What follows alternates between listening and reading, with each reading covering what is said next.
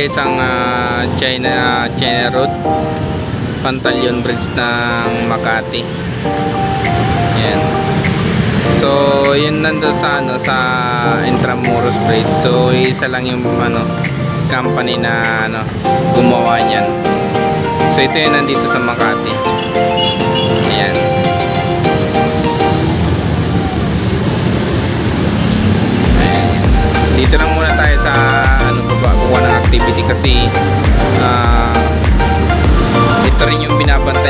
Ngayon dito. So ayan, na yung garden, yung mga halaman. Ayan, so tayo na rin ang bumuhay niyan. So tayo na rin ang nautosan ng ano ng uh, nag-planters na ayan, magdilig nga.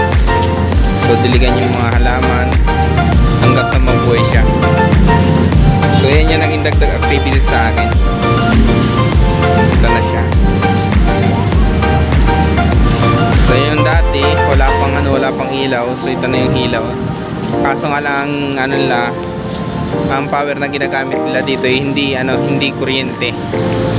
So napakaganda kasi solar. So hindi na hindi na kumbaga parang isang gastusan lang guys. Ayan oh. Yan. Yan yung solar na ginamit dito sa ano sa mga ano light spark. Ayan. Kasi parang part na to eh.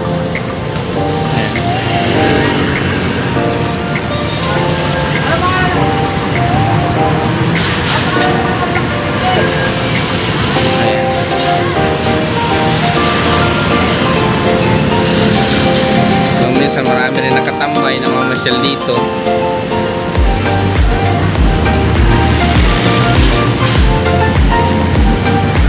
So sa mga unang vlog ko dito, wala pa talaga to.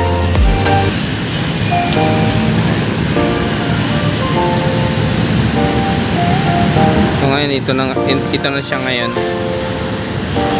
Ang galing oh, may nakaiga pa dito. Ayan yun. Ayan solar lamp.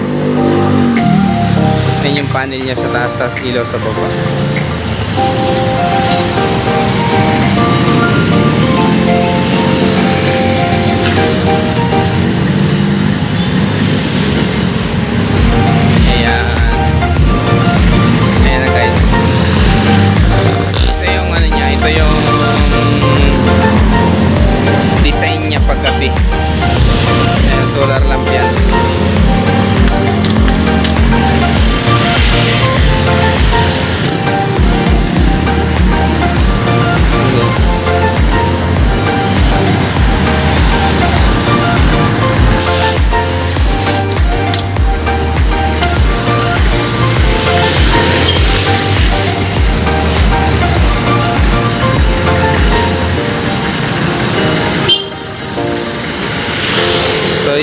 May barikada na yan, yun yung barracks natin.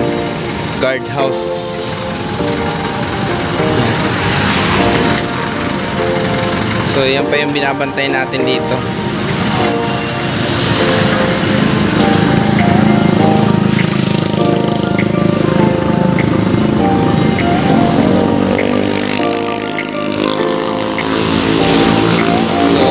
So yung palibot ko may ilaw.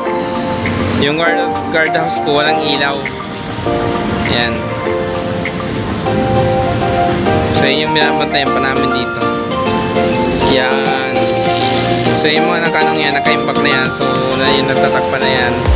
Is mga materialis pa yan. Yan, nakabakod pa yan. So ito yung guys. Ito yung ano area ko ngayon. Malapit na rin daw. Malapit na rin itong ano. Ma-pull out dito. Yeah.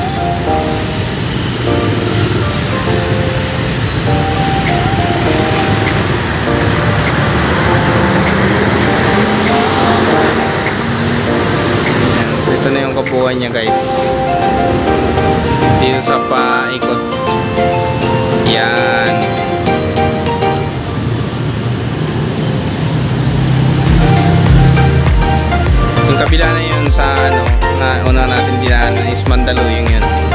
ito naman yung sa Makati. Ito yung mga building dito sa Makati paggabi. Yung gesso yan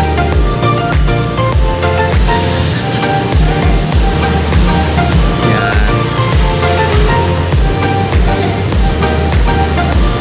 yung building dito. Sa may bandang Rockwell.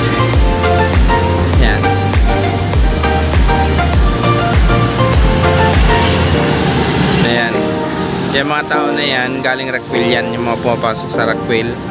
Ayan, so dito sila nag-aabang ng pagsaka dyan.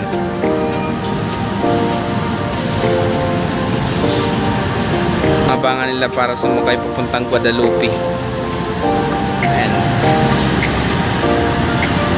Ito naman yung building ng Aruga Apartment. Ayan guys, katabi ko lang yan. Tabi ng ay, tawid kalsada lang yan dito. Yan yung Aruga Apartment. Yan. Ganyan siya kataas.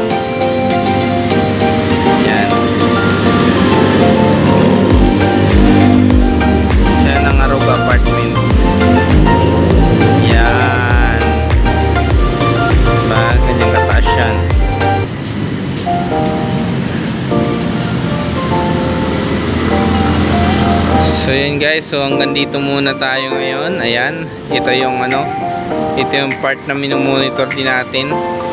At binabantayan natin yung mga anong yan, mga solar lamp na yan. Yan yung mga poste na yan. Kasi mahirap na. Ayan.